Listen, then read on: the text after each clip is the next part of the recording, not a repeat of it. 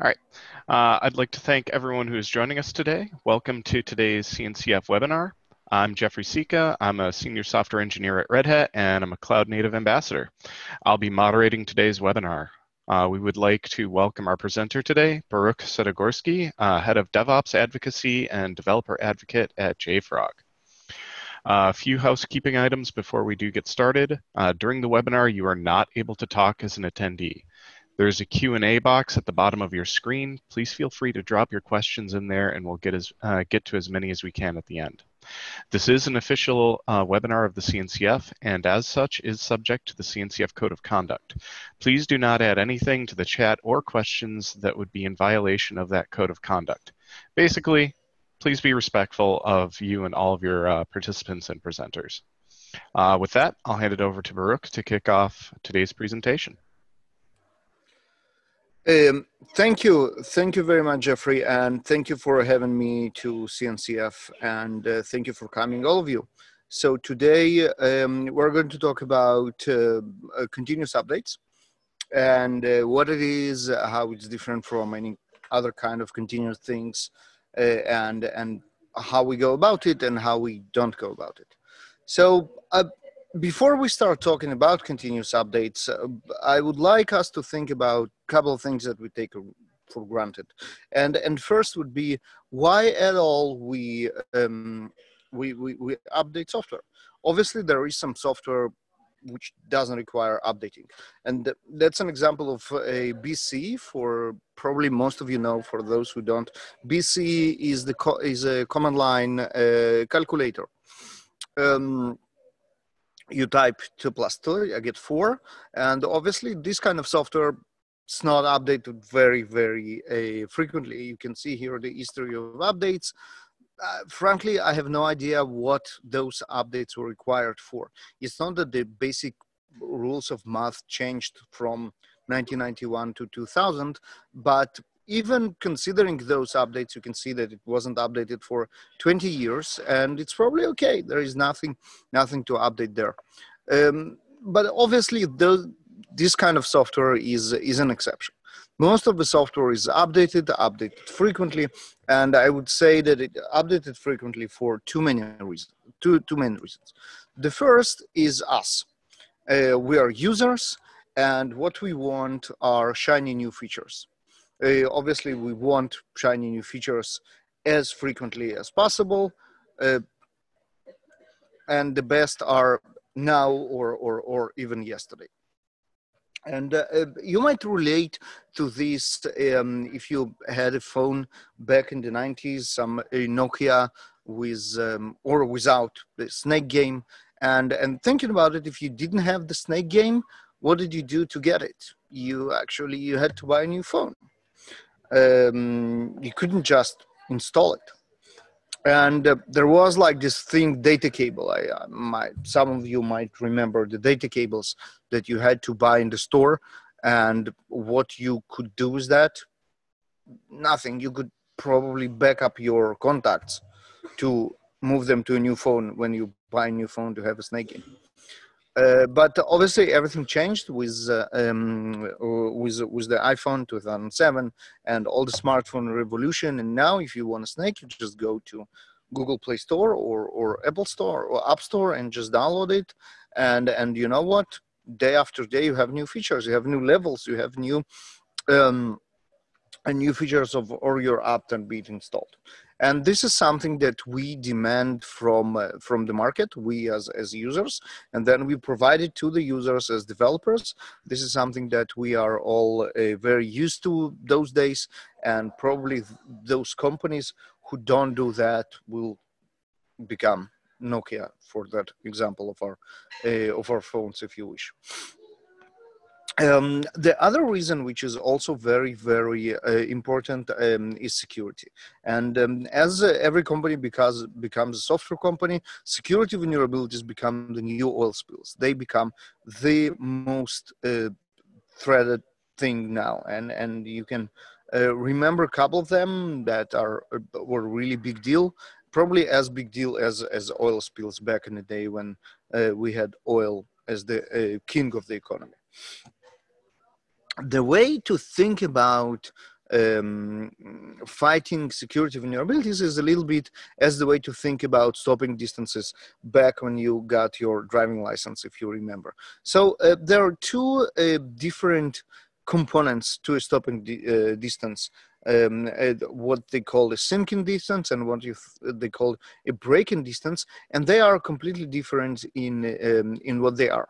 So thinking difference is the neurons that you know fire in our brain as a reaction to light, uh, getting to our eyes retina, and then uh, the the electricity that runs through our body to the muscles that uh, uh, that actually push the brake pedal and that's one kind of, of, of this formula. And the other is completely different. Braking distance is about uh, you know the, the, the, the, brakes that hit the wheel that, that, that hit the um, um, um, the wheels and and and their uh, and the chemistry between the rubber um, and and and and the the pavement and that's like completely different thing now, what's common between them is in order to shorten the stopping distance, you actually have to invest in shortening both of those with completely different tools. So with braking distance, you come with new alloys for the brakes, you come with better pavements, you come with uh, uh, better tires.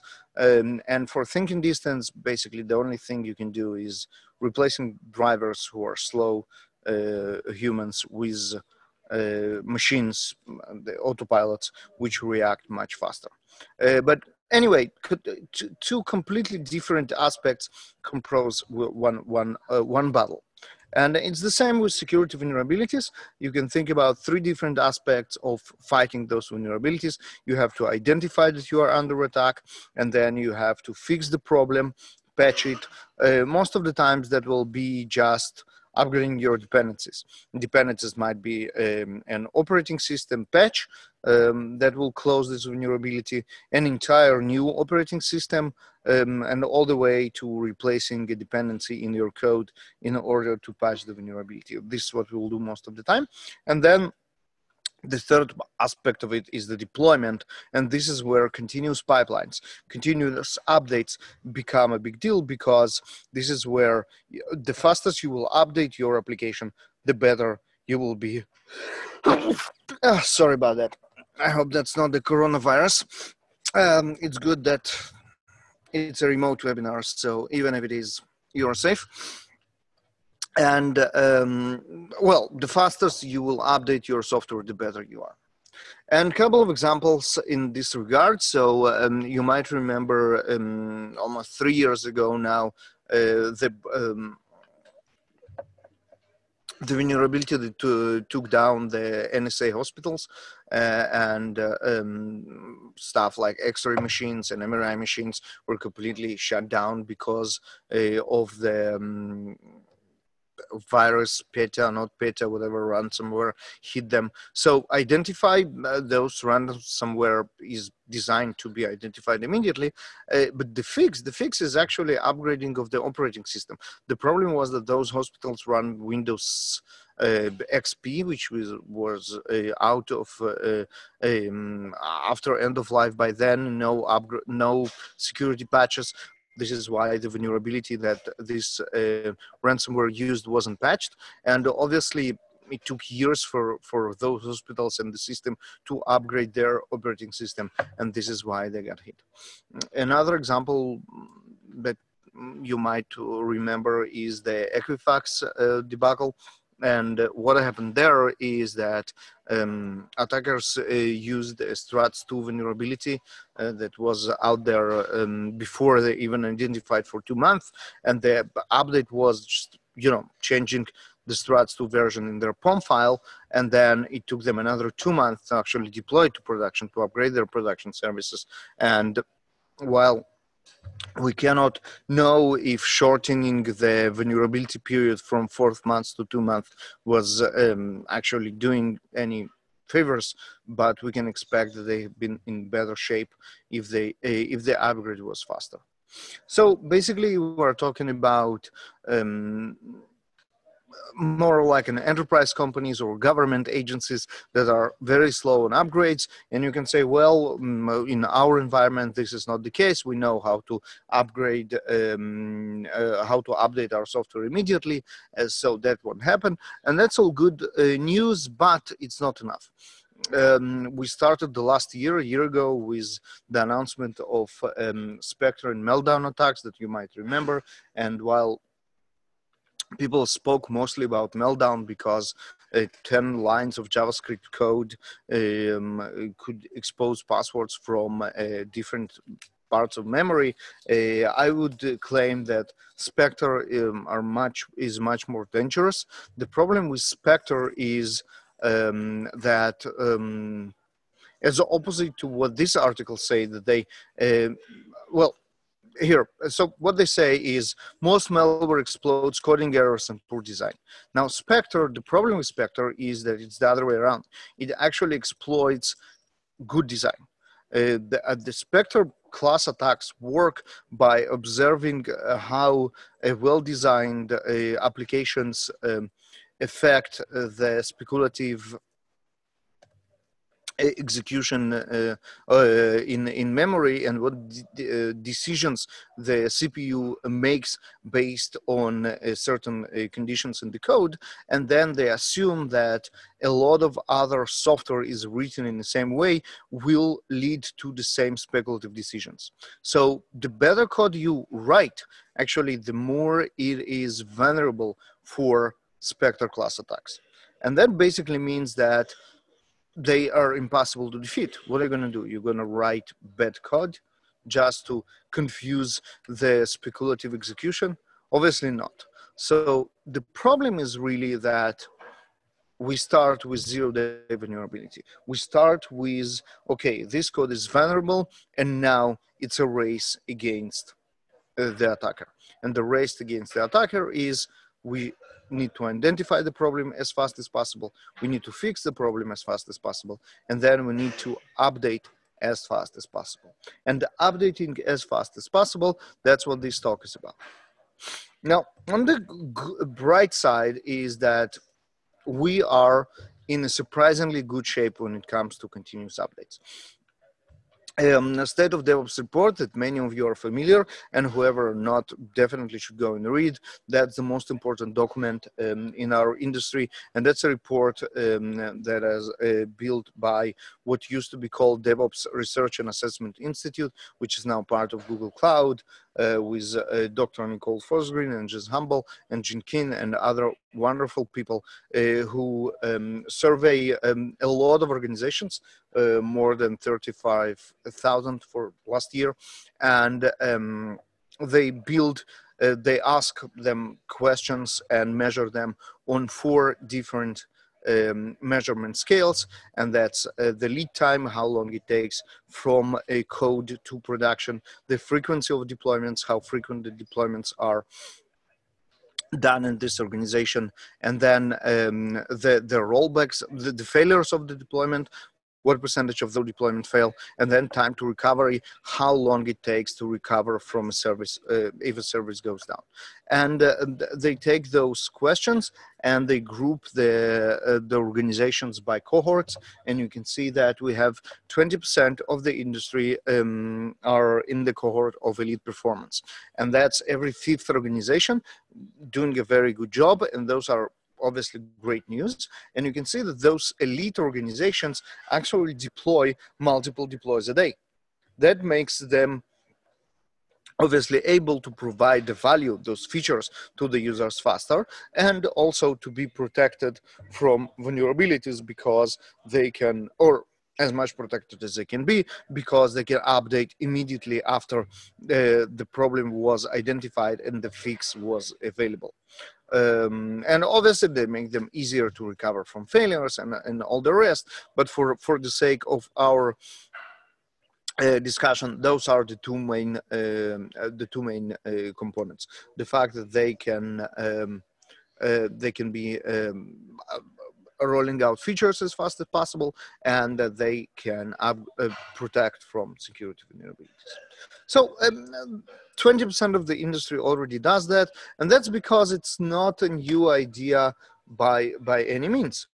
Uh, extreme programming 1998 actually uh, advocated for short feedback and that means releasing faster and then scrum reducing cycle time to absolute minimum releasing faster and then toyota production system decide as late as possible and deliver as fast as possible release faster and Kanban incremental change, smaller batches release faster. All those are not new ideas and uh, this is why 20% of the industry already successfully do that. So as uh, I was introduced by Jeffrey, my name is Baruch Sadogursky and I'm the chief sticker officer in JFrog. If you need stickers, hit me on Twitter. I will hook you up. Um, at jbaruch, that's my Twitter handle. And by now you should totally follow me. I promised you free stickers. Um, and uh, if you still not sure about the stickers, my Twitter handle is on the bottom of each and every slide. Um, this is the most important slide of this presentation.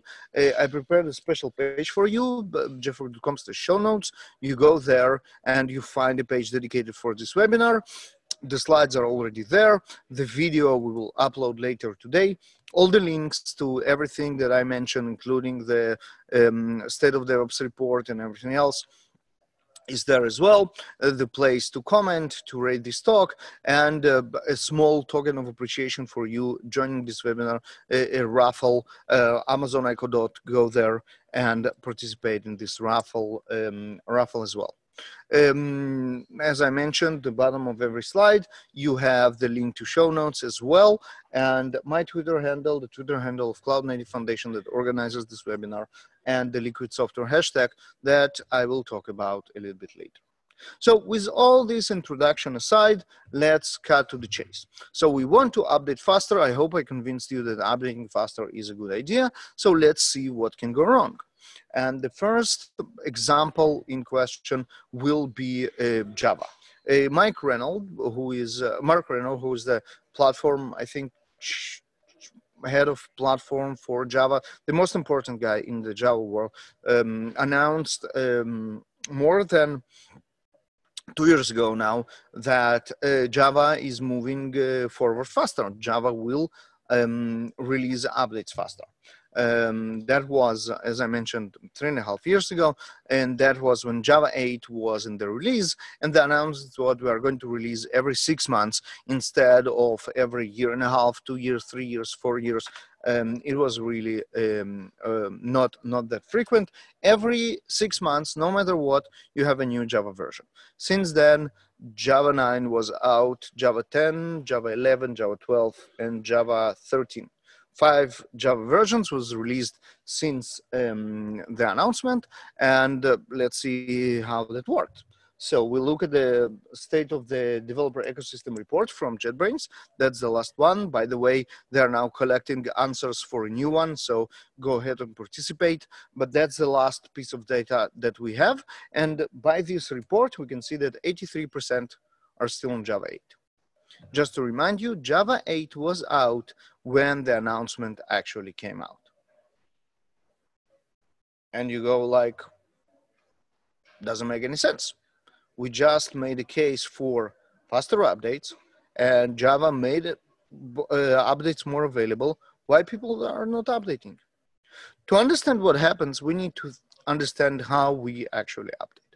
For that, I prepared a small diagram for you uh, this is how we think about it. So update is available, and then we need to decide, do we want it? If we decide that we don't want it, there is nothing interested like Java 9, then we say, okay, no, I don't want to update. But if there are interesting things like every new Java version, then you go like, okay, are there high risks? If there are no high risks, you can just update. And you can think about tons of examples for that, starting from, you know, the, the, the non-mission critical apps on your phone. You have a new version of a game, would you update it? Yes. Or, you know what, Netflix, new version, would you update? Yes. Um, and there are no high risks because if something goes wrong, well, you're going to watch Hulu for a day. No big deal um, now with your with java version that's your production systems and there are obviously high risks and the next question is do you trust the update And and for to answer this question, um, I try to come up with a vendor that updates you blindly trust. And the closest that I can think about is Apple circa 2000, let's say 14. Uh, if you've been on a Mac back then and you saw a new update for Mac OS, you probably, and this is you definitely want it. There are nice features. It's super high risk that your working machine or your life is this laptop, but you trust Apple, so you go ahead and you update, no questions asked. So this was nice. Um, since then, eh, not so much. And uh, if I will ask you how many of you uh, who are on Mac updated to the latest um, uh, macOS operating system, Catalina, that was out for like three months, I guess the percentage will be around 10%. And that's because you want the features, maybe they're sidecar, they're nice features, and they're very high risks. You don't trust the update. So the question is now, why don't we trust our vendors anymore? What happened to the trust that we used to put in them? One assumption will be, well, they forgot how to do a QA. Uh, Apple in 2014 knew how to do QA. By 2020, they forgot. Uh, well, I don't buy it. Uh, we only get better in the things that we do. Uh, so that's kind of a very weird assumption to make.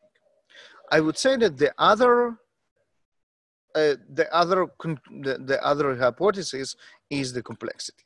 And obviously the complexity is going up and uh, we and JFrog as the authors of some tools for managing binary files measure everything in binary files in artifacts and uh, we measure complexity in artifacts as well. So you can see how the numbers of artifacts that we need to, man to manage um, uh, grew over the years starting from agile back in 2000 when uh, we started to uh, do continuous integration and that means building more and more and then continuous delivery. That means that every artifact now might end up in production so we need to keep them around and manage them. Infrastructure as code suddenly, uh, suddenly or our servers and hardware or software as well and then microservices raise the complexity tremendously. Obviously docker every line we change in the Docker file now produces a, a, set of binaries that we need to manage. And then serverless, every 10 lines of JavaScript code is now an artifact that need to be me measured, uh, that need to be managed and versioned and, and uh, controlled and then obviously iot now those 10 lines of javascript code live in every light bubble in my house so that makes it even more uh, hard to manage. Um, so complexity plays a very big role but i would claim that another uh, another problem is even more critical and that's a problem of having a lot of data. So and this is um, kind of a prediction of global data sphere by 2025 zettabytes is a lot uh, today we think about petabytes as a lot, and and you know when we speak about big data, we refer to petabytes. There is one more after, and that's exabyte, and that's like really a lot. And after exabytes, this zettabytes. Now, this is something that we cannot even grasp as of today. And although, you know, this source of this research is Seagate, which might have interest in uh, inflating the numbers a little bit, but even if we divide it by 10 and we say it's 17 zettabytes, it's still, it's, it's, it's not comprehensible. And that means that officially staging is dead. And what I mean by that is that there is no sense, economic sense, in trying to replicate production environment that will look like uh, for staging uh, uh, and build environment that look like production just because the amount of data is is is is so big that it doesn't make any economic sense. And uh, you know the big companies already already testing in production. And one of the interesting examples that i experienced personally in testing in production a couple of years ago can go on Facebook if you have an account and search for this hashtag envy, uh, empty envelope from China. Um, you can find a set of blog posts um, by my wife about a very strange thing that happened to her.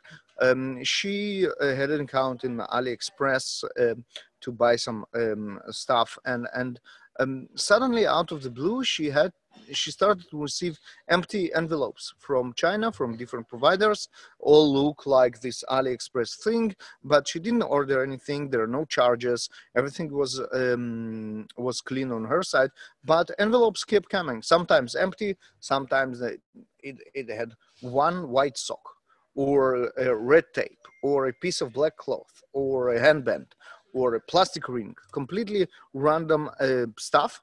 And we were really puzzled on what's going on. We started to develop all kind of um, interesting conspiracy theories. And then um, my uh, um, good friend Leonid Igolnik who is the senior uh, vice president of engineering now in SignalFX um, came to visit and we told him this story. And he's like I don't even know why you're surprised. They obviously testing in production.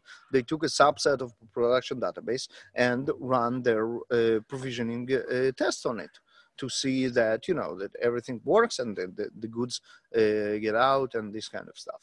And uh, well, that made sense. And and uh, this is one of the examples of how people don't use staging anymore because staging is is is dead. So now we can know that data and complexity are uh, really big problems in guaranteeing quality. And the question is, okay, so we don't trust those vendors. What do we do about it? The next question is, can we verify the update? Sometimes we just say, no, doesn't make sense. New Java version every six months. It will take me eight months to um, do acceptance testing on all my production environments and check that everything is correct. It doesn't make sense to update now to the next Java version. By the time I will be done with my acceptance testing, new version will be out. So no, I just won't update. Or if I really, really want to, then I need to do all the acceptance tests. I need to do the time consuming verification, which makes the dilemma for us as software providers. Because now in order to convince our users who will do acceptance testing because they don't trust us because the complexity and the data we need to put a lot of food on the table. We need to make sure that we have so appealing features that people will update regardless of the uh, of the acceptance costs right? So the, we have a trade-off now. Features that we really want acceptance uh, test costs and we as users need to decide whether we should update because the features are so great. We uh, we are willing to um, th live through the acceptance test costs or we want to update to this version at all because the features are not so great and the acceptance costs are very very painful. Can we go around this trade-off in some way? Can we cheat in some way? Well, we can. Um, in this case, it will look like update available. Do we want it? Yes. Or yes, because now what will ask us. Auto update is turned on and now we will get the update regardless of what, what's going on. And this will only work for stuff that is not high risk. And examples of that is your browser I bet the majority of you have no idea what version of browser are they running. Um, or, or Twitter in your browser. That's that's a website. You, there are some versions behind the scenes, but you have no even way to know which version is that. Twitter on your smartphone, there is a version, there is an update, but for the majority of us now, auto updating turned off. It updates automatically. You have no idea what version it is. And what all those have in common is the low risk. Now, for example, the operating system of your smartphone. Here you probably know the version because updating the operating system is something that requires human intervention because the risks are high. And this is where you go into this dilemma, back to this dilemma. Are there enough features and do I want to take the risk of updating for those features? So now let's talk about building this trust because this is what it's all about. If we can build the trust to the level that the consumers trust us again, then there is no problem with making them updating faster, enjoying the features, and being protected against vulnerabilities. So, what can possibly go wrong? And in the spirit of the personal stories that I started with, here's another one. Um, some years ago i bought google wi-fi um, which was called onHub back then and that was a router from google amazing piece of technology still loving it. Uh, one of the features that was really appealing is the self-improving system. Self-improving system is known today is the over-the-air updates. Um, it's sitting there getting updates once in a while and actually getting better and better with time. And and one day um, three years ago, I was on a, um, on a trip and and uh, my wife is calling me and um, she's like, I came back from work and our kids are sitting in the dark, and I'm like, is it a power outage? And she's like, no, the electricity the electricity is is, uh, is, is fine. It's the internet is down, and the kids are shouting, Alexa, turn the lights on. Alexa, turn the lights on. Nothing happens, so they just sit in the dark. So then they, they learned that there are physical switches on the wall, but the internet was still down. So I called our provider. Our provider like everything is good. But then I get this email, and this email goes like, "Oops, sorry, we send an over-the-air update to your router, and it reset it to the original settings." Uh, so now we cannot fix it with additional over-the-air update because your system is disconnected from the from the internet so we cannot reach it and now you need to go ahead and reconfigure it from scratch. Now the problem is to get an email you need you need wi-fi. You need internet. I was on a trip so i was on a conference wi-fi or, or hotel so i got this email we configured it and everything worked fine. But yeah there is this problem that update can go catastrophically wrong and over-the-air patch cannot reach the device. And in our example, it was mild, you know, that was just a reconfiguration of a router at home. But think about controllers, edge systems on a solar array somewhere in Sahara Desert. It will take like three days to even get there in order to reconfigure it. And three days are, you know, it's, it's a lot of production lost. Um, the solution to it is um, having previous version saved on the device to, to, to, update and rolling back if the problem occurs.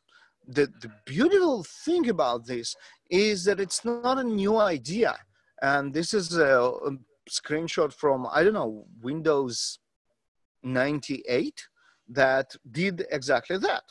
Uh, you remember when you had the, your desktop computer connected to a display and you changed the resolution, uh, there was this warning on the screen when you come back, should we revert the settings? And this is be because if the resolution wasn't uh, didn't match to the display, the display go dark, and then you have no way to roll it back. So instead, there is an automatic rollback built in in case something went wrong. And this is exactly how it works with local rollbacks today. Well, they are a little bit more complicated, but that's exactly the same idea. And unfortunately, Google Wi-Fi back then didn't have this feature. Well, I mentioned again low uh, low risks because that's a router at home, but I would expect other devices to have it if they are harder to physically reach and and and fix. Now, this is obviously an IoT example. Both the router and the edge device that I mentioned are from the IoT domain, but I would argue that the T in IoT stands for things, and things is everything, including the, the servers that we update in our data center, the servers that we update in the cloud, and basically everything else. Uh, and if we are talking about fun stuff to update um, in IoT domain, let's talk about uh, updating cars. Mm, again, what can possibly go wrong when you update cars? Um, here's a wonderful example. Jaguar I-Pace released last year um, a very uh, luxurious, obviously electric car uh, that had a, a software bug in their brakes. Well, when that happens, what do you do? Um, if you don't have software updates then you just have to do a recall. This is what Jaguar did. And the problem with recall is that they are very costly. You have to have a network of services that will do the recall and will implement the fixes, and you pay a lot of money for those recalls. And the other problem, and mm, one can argue it's a bigger one, you can not actually force um, an, an, an up, update. Um, what are you going to do? You're going to send them an, an, mm, a mail, like a letter, and maybe in a red envelope to get their attention. But in the end of the day, if they are not willing to do the update to to answer the recall, they just won't do it. And obviously, when you have a problem with brakes, that's kind of a big deal.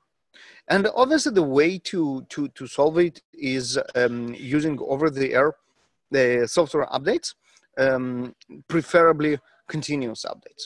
And the difference between the normal over-the-air updates and continuous updates is this, for example. So that's another self-driving. That's another uh, software software-driven car. And that's Tesla. And um, one of the problems with with Tesla Autopilot, namely, is what it's called uh, phantom braking. Phantom braking is you drive the car and the conditions are perfect. There is no interference. Out of the out of the blue, the car slams and brakes. And uh, there was a rumor that the, there is a fix coming out, and people are waiting for this fix weeks after weeks. And the reason they didn't get this fix is because chess. Uh, you can see here an update which include this bug fixes, small minor bug fixes note on the release notes, and that is is the fix for the phantom braking. But the people didn't get it because they waited for this big feature, which is a chess game to come out. And there is chess game in the Tesla that you play while your car is charging. It's fine, it's important. Is it as important as fixing the phantom braking? Well, depends to whom. If you use the autopilot features, obviously it is more important for you. But if you are a chess enthusiast and you re, and you don't use autopilot, is the other way around. Chess is the most most impo- uh, more important features.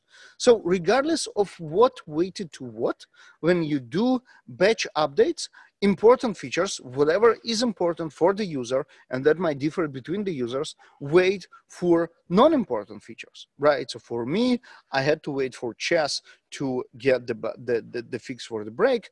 Mm, someone else had to maybe wait for uh, this um, irrelevant fix for their autopilot while they're waiting for the chess features. So instead, you implement continuous updates, you implement over-the-air updates, and then you deliver the features as they come out.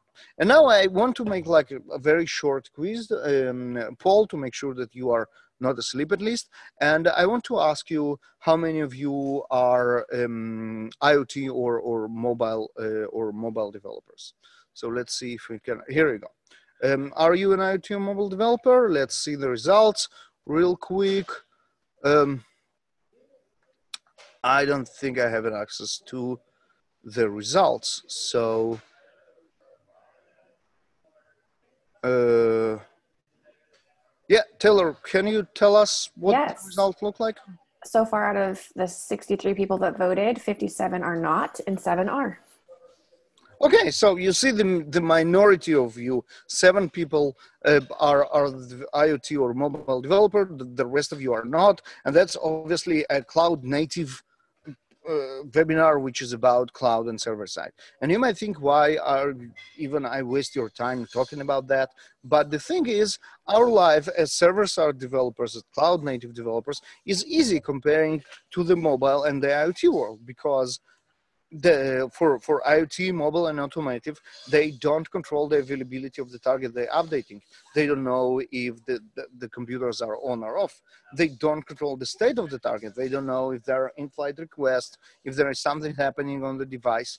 They don't know which version are they going to update. Maybe this device didn't get updates for last three years, and the other device is is in the latest version and they don't have access to the target in case uh, something went wrong and they need to log into it. You can always go and log into our servers and see what's going on. They don't have this luxury. So our life as server-side developers is much easier, and still we manage to um, to to royally screw it up. And the the biggest example, it's a little bit old. It's like eight years ago, but it's uh, so powerful that uh, I feel that I want to share with you is the Knight Capital uh, disaster.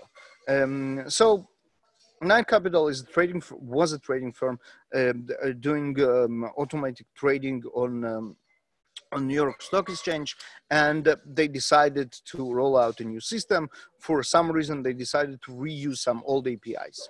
And, the, uh, now the, the same APIs did something completely different.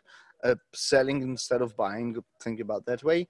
And uh, for some reason during the update one of the eight servers was not updated. And new clients now uh, send requests to uh, seven new updated machines that did what needs to be done but one machine contained the old code so it did something completely different. And the engineers saw that it misbehaved it did something different and what they do is okay we need to stop the upgrade so they shut down the updated machine and now 100% of the traffic goes to the machine that did something completely wrong and there is no monitoring, no alerting, no debugging. And basically, think about it they are sitting and trying to debug what's going on in real time, and uh, they are actually losing millions of dollars every second they did it. The fix took 42 minutes. They lost more than $400 million during those 42 minutes and basically went out of business and that's a horrifying story. Um, I have a link uh, to more detailed explanation of what happened in the show notes. Just to remind you, jfrog.com show uh, jfrog.com show notes, and there is like it's it's a marvelous story and a really really scary one. Um, what could help? Um, first of all, people are just bad in repetitive tasks. So instead of manually updating servers we are um, we we automate everything, and um, this is how uh, we make sure that eight servers out of eight are updated. And then uh, another problem is that they did this deployment after many years of not doing any deployment to uh, to production, and obviously they had no skill, they have um, no habit of doing that, and that was a very stressful event. Things went wrong. Instead, if you uh, update frequently, you develop skill and habit, and it's not a big deal. So the chances of you screwing up uh, are lowered. Um, and another problem is um, they reuse some state on the target machine. That might be a good decision, might be a bad decision, but regardless of that, you really need to know and consider the target state when updating and reverting might require uh, sorry, and reverting my require revert of the state and knowing what will happen during reverting of the updates. So another marvelous example, and this is pretty fresh, that's July last year, is Cloudflare. Cloudflare went down, took uh, most of the internet with it. What happened? Um, so Cloudflare battles uh, DDoS attacks and, and other type of attacks on the internet with uh, routing rules that they um, deploy frequently uh, and uh, they deploy it all the time. And one time in deployment of a single misconfigured rule. Now, what happened next uh, for me convinced me that we are this universe, this world won't gonna die of coronavirus, won't gonna die on um, uh, nuclear war, and not even global warming. What will take this world down is um, um, a regular expression, because as you can see in this example, a single misconfigured regular expression spiked CPU of a server to 100% and obviously um, shut it down and they propagated next thing you know affected region earth. That's a quote from their uh, from the status page. Some humor um, definitely a needed situation. So yeah affected region earth everything is down because of single misconfigured regular expression. And this is weird because you expect from a very progressive company like Cloudflare to actually implement a progressive delivery because what they did is they released the bug that affected all users. Instead, you should release to a small number of users first effectively reducing the blast of radius and then observe. And if a problem occurs, you stop the release, you revert um, or updated the affected users. And uh, the most important the most interesting part of it is that progressive delivery it's something that the majority of us probably learned when we were like eight years old when our parents taught us how to do laundry because every detergent have this warning always spot test on a hidden service first and this is progressive delivery you try somewhere when uh, to minimize the blast, to minimize the damage, and then you observe and check if it works or not. And if it doesn't work, you don't do it, or you revert it, or you do something else. So this comes obviously with observability. Some feedbacks are hard to trace relying on user feedback only. People yelling on Twitter is a good feedback, probably not good enough to uh, troubleshoot the problem to the root.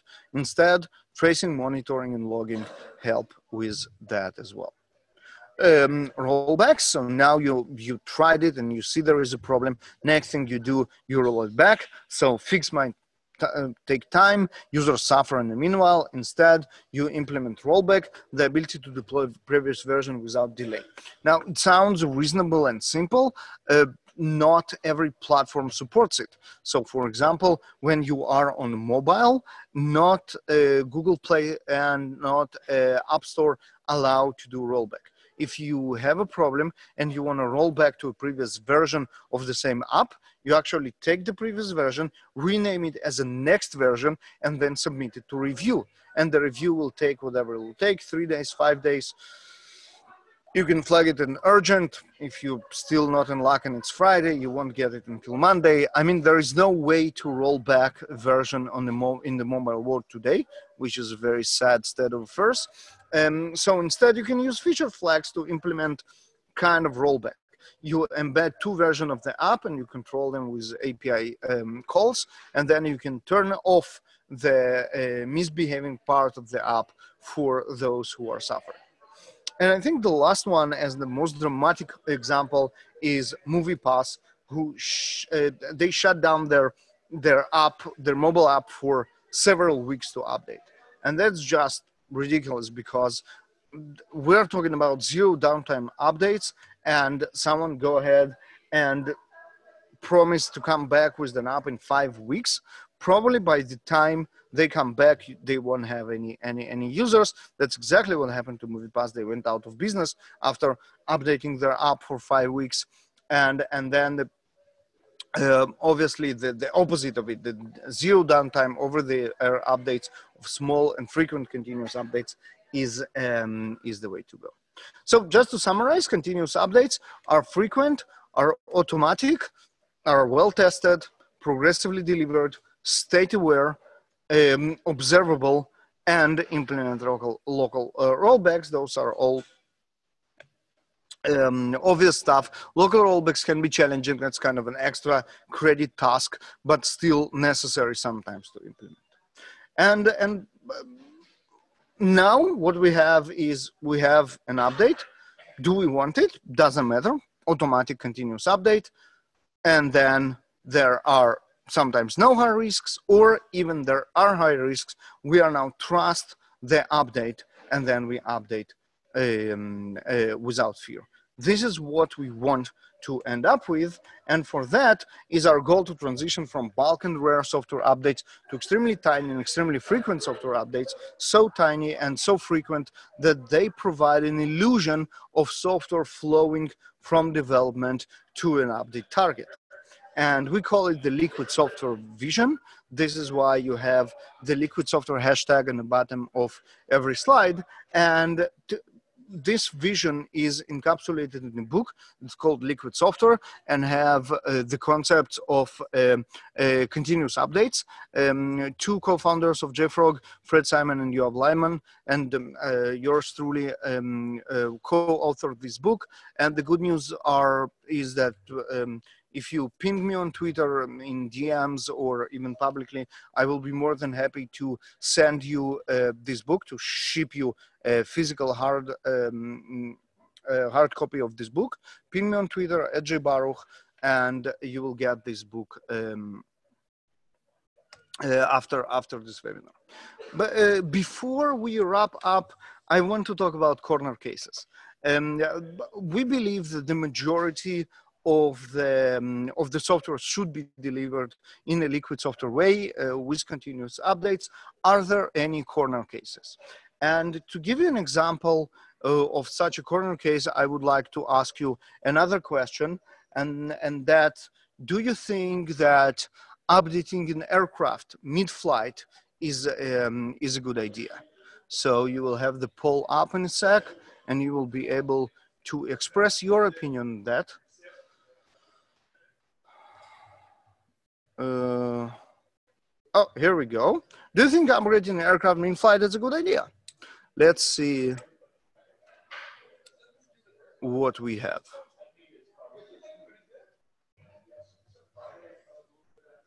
And again, Taylor, can you share with us what people say? Absolutely. Right now we have 84% say no and 16% say yes. Okay, 16% say yes, that's a lot. But let's let's see if we can drive it even harder. So uh, here is Airbus A350. Airbus A350 has a memory leak. And it needs to be rebooted every 149 hours. If you don't reboot it, memory leak, software crashes. Software that actually flies the plane. So here is a hypothetical situation. You are now on a flight from San Francisco to Tokyo over the Pacific, already past Hawaii. You have like three hours, I don't know, five hours more to fly. And, and, and then the co-pilot asked the pilot, "Hey, by the way, did we reboot this morning? Because I think we kind of ran out of this 149 hours." And they're like, "Oh no, I think we forgot." Do you think that patching this, uh, patching patching this memory leak mid-flight, sending continuous update that actually fixes it would be a nice idea? You might start thinking differently than you voted and to prove that I'm not the one, the only one, and you are not the only one who thinks it might be a nice idea. Here is a proof. And this is from the great book, From Project to Product. You know where to find the link. Uh, jfrog.com show notes.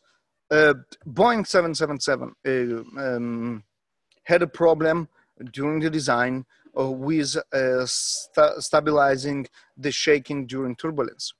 And they couldn't debug it um, or, um, on, the, on the ground. So they took all the software engineers, put them on the flight, took off, went to the turbulence zone, debugged it in flight, and found the problem and actually updated mid-flight to make sure that the fix helps. So this is something that has been done. This is something that is definitely might be a very good idea. The secret is to trust the upgrade. And to trust the update, there are very good advice in this webinar and also in the book. So with that, just to summarize, my name is Baruch, at Baruch on Twitter. Liquid software is the hashtag that uh, you use on Twitter when you talk about that at Cloud Native Foundation is the Twitter handle of the Cloud Native Foundation that hosts this webinar. And liquidsoftware.com is the website of the book and you can learn more. And jfrog.com says show notes is where you go for the slides, the video, all the links, um, comments and ratings, and your chance to win Amazon Echo Dot if you fill out a little form. With that, thank you very much.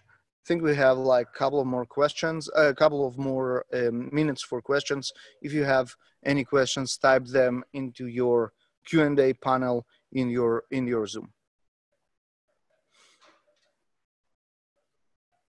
Yeah, we do have just a few more minutes, but if there are one or two questions, you should have time.